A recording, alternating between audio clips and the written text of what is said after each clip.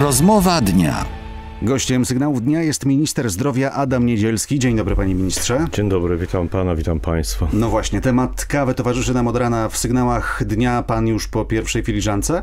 No to ja chyba zaskoczę wszystkich, ponieważ ja w ogóle kawy nie piję. E, I to od dzieciństwa ja naprawdę wpisuję się w ten przypadek, który chyba przed chwilą był jako wypowiedź jakiejś pani. Ja wypiłem w młodości ze dwie kawy i więcej po prostu kawy nie piję.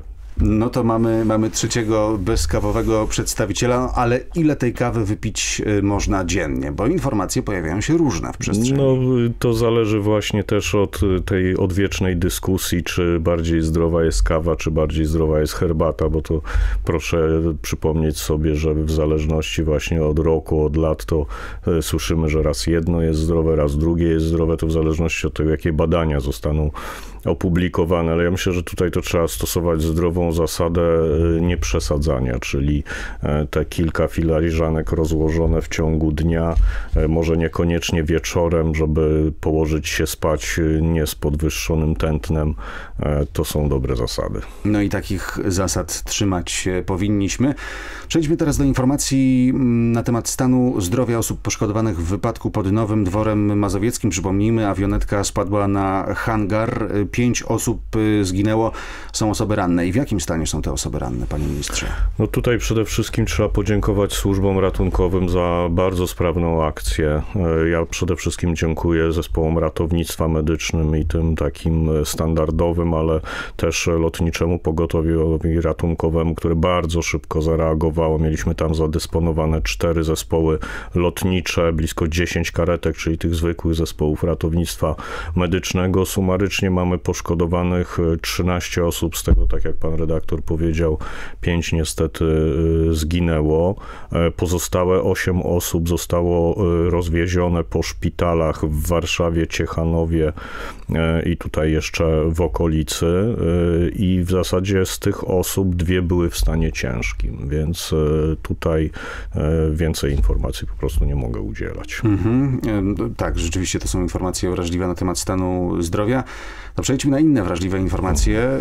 Pieniądze. Panie ministrze, w jednej ze słynnych amerykańskich loterii już dziś można wygrać miliard dolarów. To jest miliard, są mniej więcej 4 miliardy złotych. Prawdopodobieństwo skreślenia tych prawidłowych e, cyfr, liczb jest jak 1 do prawie 300 milionów. I to są 4 miliardy złotych. A Ministerstwo Zdrowia znalazło tych miliardów prawie 16. Gdzie one były?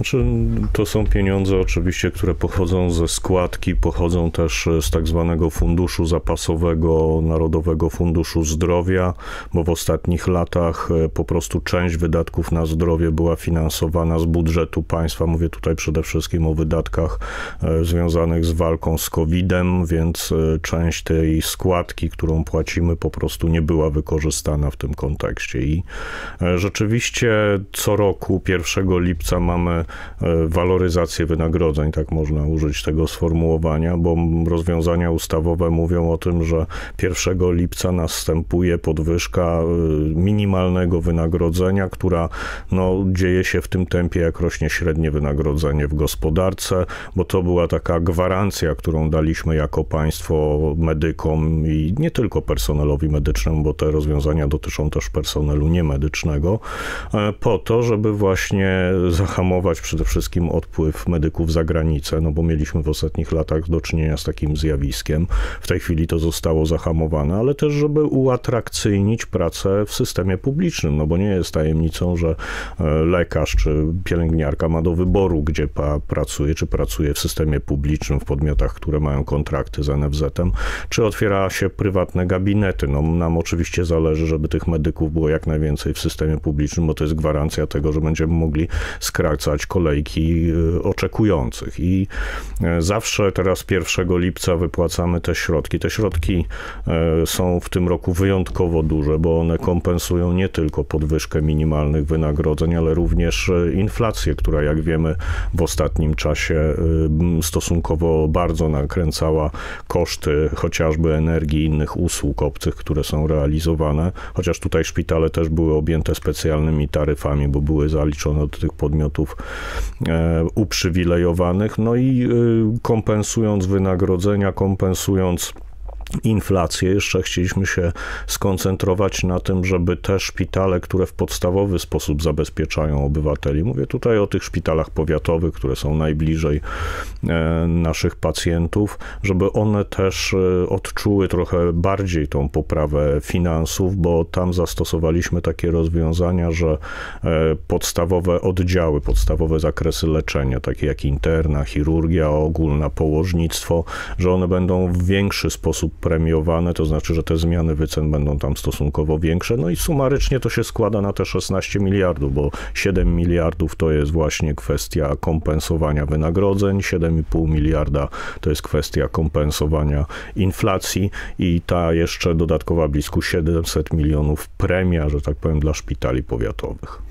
No, opozycja tymczasem za, zarzuca Prawo i Sprawiedliwości, że zadłużenie szpitali w trakcie rządów PiSu właśnie zwiększyło się dwukrotnie do 20 miliardów złotych. No, to jest przede wszystkim dobra okazja, żeby wyjaśnić e, kilka niuansów, które są w problemie zadłużenia, bo po pierwsze, szanowni państwo, jeżeli mówimy o zadłużeniu ogółem, to ono się zawsze zwiększa dla podmiotów, które mają większe pieniądze do dyspozycji, bo po prostu kredytując działalność, wchodząc w różne przedsięwzięcia, stać nas na większe kredyty, na większe e, pożyczki. I pod tym względem wzrost zadłużenia ogółem, e, w, kiedy mamy naprawdę nakłady w ostatnich sześciu latach czy ośmiu latach e, ponad dwuipółkrotnie rosnące, to proszę zobaczyć, nakłady wzrosły dwuipółkrotnie, a zadłużenie według tych głosów wzrosło dwukrotnie. To jest jakby jeden temat. Drugi temat jest taki, że e, w zasadzie to kondycję taką finansową szpitali mierzy się nie zadłużeniem czy zobowiązaniami ogółem, tylko zobowiązaniami wymagalnymi, które są już, e, że tak powiem, konieczne do zapłacenia, a nie zostały zapłacone. I otóż e, te zobowiązania od kilku lat wahają się w przedziale no, około 2 miliardów złotych i nie rosną. To znaczy, że ta kondycja, wypłacalność przepraszam, szpitali jest w miarę e, po prostu stabilna. I tutaj e, kolejna rzecz, o której warto powiedzieć, to to, że 75% E, lecznic tak naprawdę nie ma zobowiązań wymagalnych. Znowu mamy do czynienia z taką sytuacją, że jest pewna grupa podmiotów, ale ta grupa podmiotów jest odpowiedzialna za zdecydowaną większość zadłużenia. To nie jest problem powszechny, bo tak jak powiedziałem, 75% e, szpitali czy, czy ZOZ-ów e, nie ma w ogóle za zobowiązań wymagalnych. Powszechnym problemem są za to kolejki w publicznej opiece zdrowotnej. No, jak się okazuje, jak informuje o tym Narodowy Fundusz Zdrowia, te kolejki to poniekąd wina samych pacjentów. Nie, ja absolutnie takiego punktu widzenia nie, nie, nie przyjmuję. Tutaj kolejki to jest tak e, skomplikowane zagadnienie w zarządzaniu systemem opieki zdrowotnej, że przypisywanie jednemu czynnikowi odpowiedzialności za kolejki jest po prostu nieracjonalne. Jeżeli popatrzymy sobie właśnie na te podstawowe przyczyny, to e, przyczyną fundamentalną kolejki jest brak specjalistów, po prostu. Brak specjalistów i to jest problem, który z jednej strony można rozwiązać tylko w przestrzeni dłuższego czasu, no bo muszą się lekarze wykształcić, muszą przejść przez specjalizację, żeby zostać e, właśnie specjalistą i, i, i pomagać pacjentom i to jest proces, który trwa około co najmniej 10 lat. I e, na szczęście i ta inwestycja w kadry polegająca na przede wszystkim zwiększeniu miejsc przyjęć na studia medyczne, to jest proces, który już rozpoczął się praktycznie w roku 2016 2016 my zwiększyliśmy liczbę naborów na studia lekarskie. To jest też takie dobre porównanie z 7 tysięcy w roku 2016 w tej chwili do ponad 11 tysięcy, czyli no nie podwoiliśmy, ale ten przyrost przyjmowanych studentów jest zdecydowanie większy, bo to jest podstawowa rzecz, która będzie ewentualnie oddziaływała na skrócenie kolejek. Drugi e, element od strony zasobów to też trzeba mm, mieć świadomość, że my bardzo bardzo dużo lekarzy sprowadziliśmy do Polski W ostatnim roku, to, to jest liczba naprawdę, która robi na mnie przynajmniej bardzo duże wrażenie, to było blisko 6 tysięcy lekarzy z Białorusi i Ukrainy. To są lekarze, którzy realnie zasilają nasz system, pracują najczęściej zresztą w szpitalach powiatowych,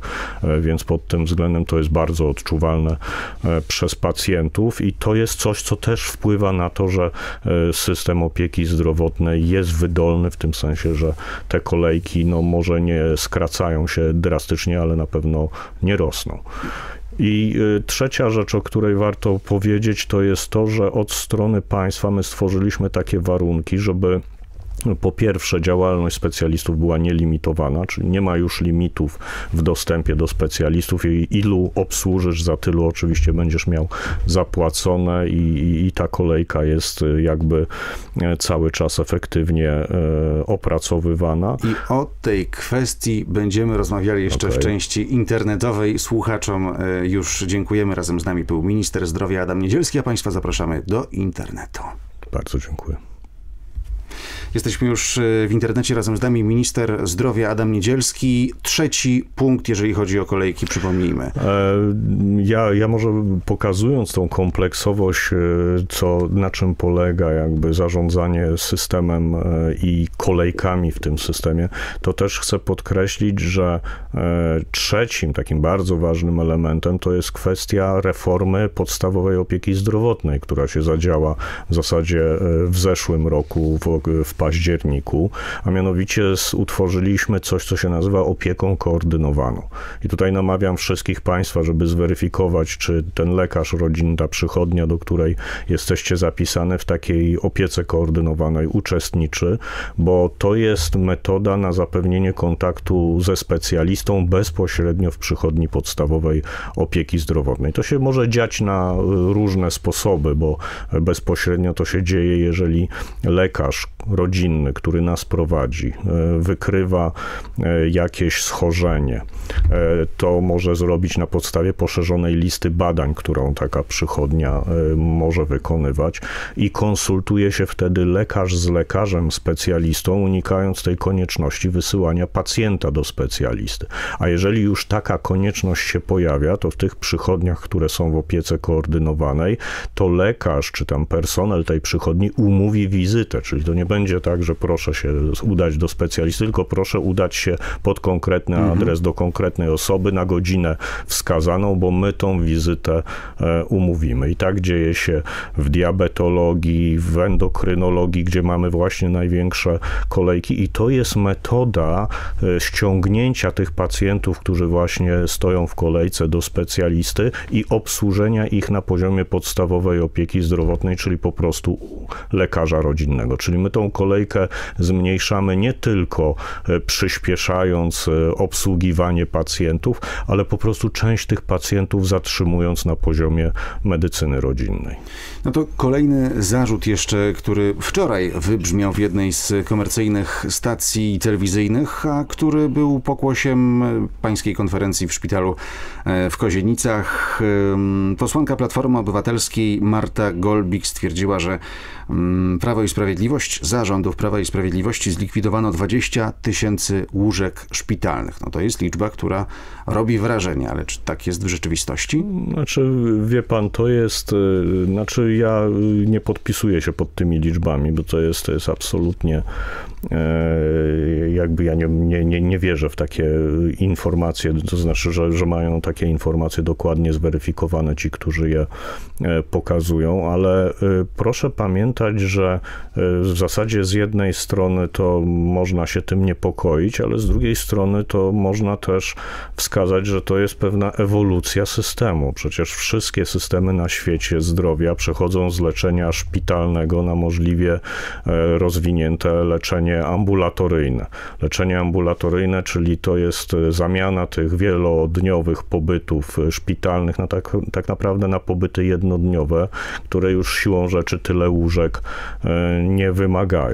Po drugie, my stosunkowo niedawno byliśmy jednym z krajów, które miały najwięcej łóżek szpitalnych na 100 tysięcy obywateli. My wyprzedzaliśmy, zdaje się, nawet ponad dwukrotnie takie kraje jak Holandia, jak inne, które już właśnie przeszły tą ewolucję od takiego czysto szpitalnego leczenia do leczenia przede wszystkim w trybie ambulatoryjnym, gdzie hospitalizacje, o ile to oczywiście możliwe, są redukowane do jednego dnia. Ten proces szczególnie mocno y, odbył się w Polsce w przypadku okulistyki, gdzie e, żeby zoperować sobie e, oczy trzeba było naprawdę tydzień leżeć przysłowiowy w tym szpitalu. W tej chwili to są procedury, które w ciągu jednego dnia są załatwione, więc ta liczba łóżek tych takich dosłownie fizycznych sensu stricte e, nie jest już tak duża potrzebna, więc dzieją się procesy, procesy, które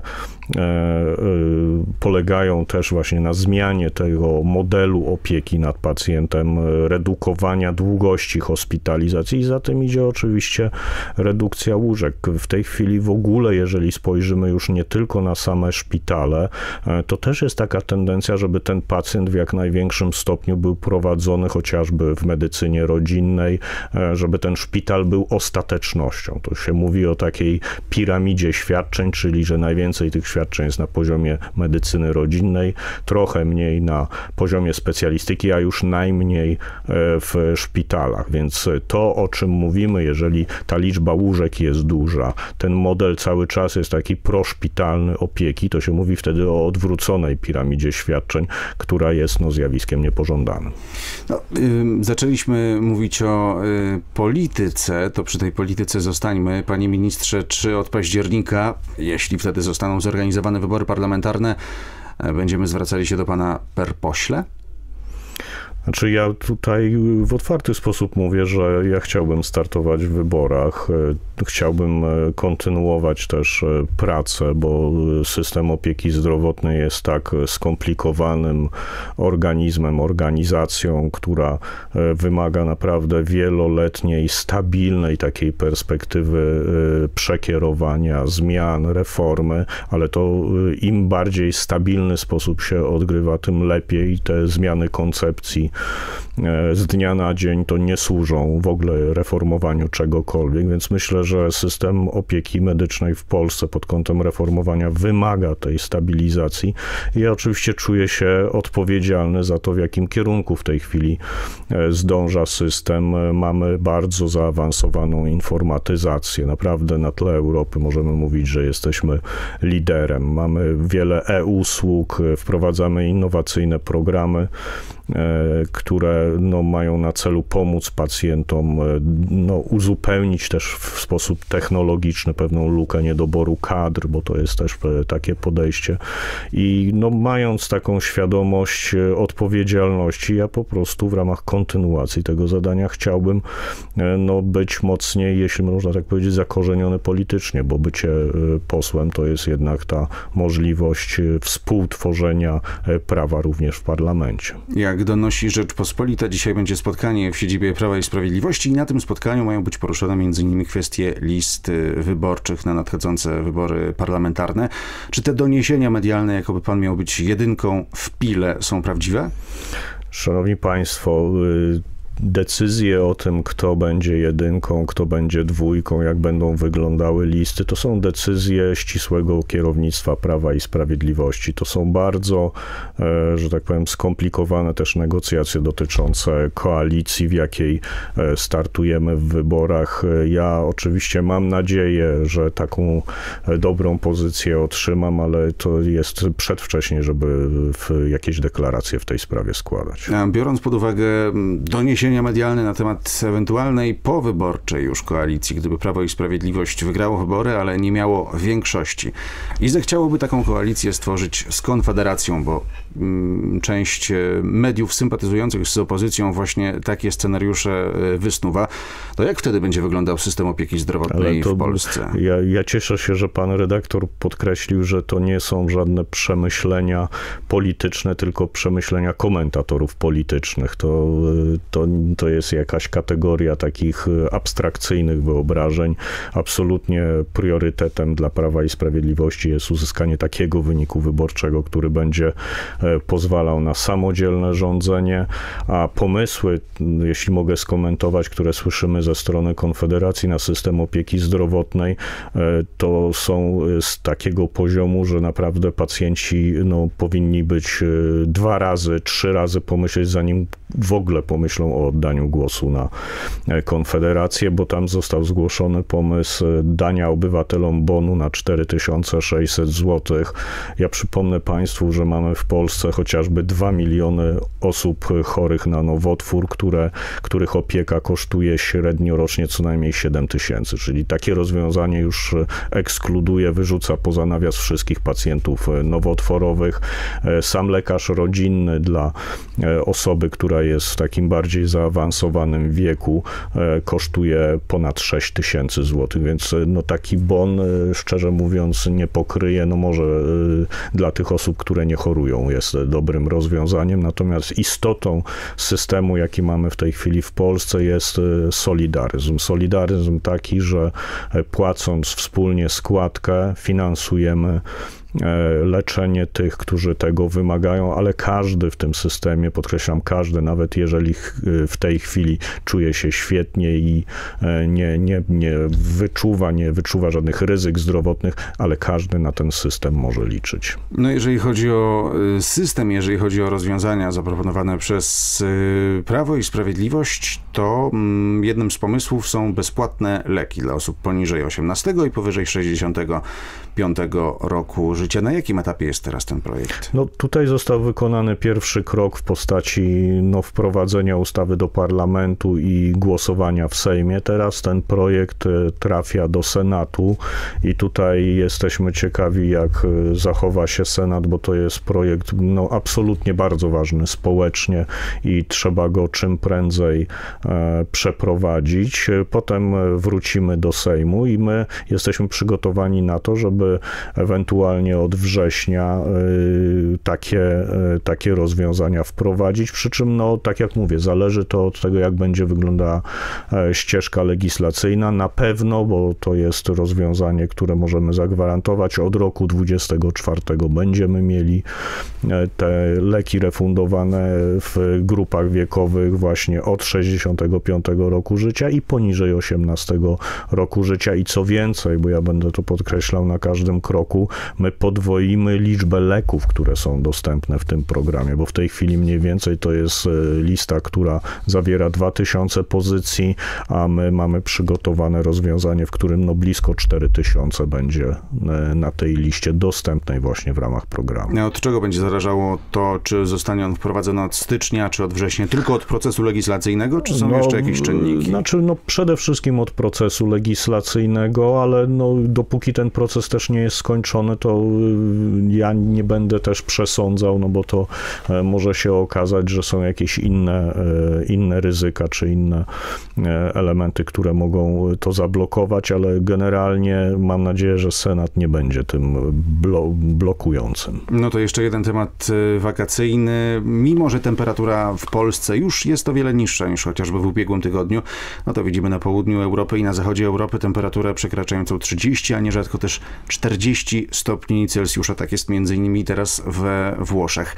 Jak najlepiej przetrwać taki upał? No, e, przede wszystkim nawadnianie. Naprawdę przyzwyczajmy się do tego, że jak wychodzimy na dwór, to w ręku albo w plecaku mamy butelkę wody i e, nie czekamy, aż zacznie nam się chcieć pić, bo to często oznacza, że właśnie zaczynamy się odwadniać, tylko regularnie, e, co w zależności oczywiście od temperatury, od tego, czy wysiłek fizyczny podejmujemy, to tą częstotliwość nawadniania trzeba zwiększać. To jest rzecz, której trzeba pilnować pilnować. Po drugie, no jednak, jeżeli mamy takie skrajne temperatury, jakie mieliśmy w zeszłym tygodniu, no to osoby starsze czy osoby wrażliwe, no powinny unikać tego wychodzenia e, z domu, bo lepiej e, jednak pozostać w cieniu.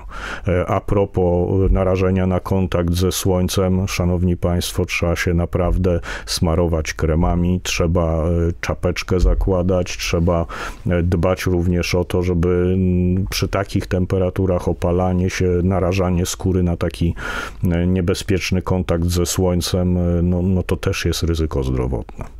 No i panowie też powinni się smarować, bo to chyba wśród panów absolutnie tak. nieco, nieco gorzej wygląda. O tych wszystkich e, kwestiach rozmawialiśmy z ministrem zdrowia Adamem Niedzielskim. Bardzo dziękuję za rozmowę, panie Bardzo ministrze. dziękuję.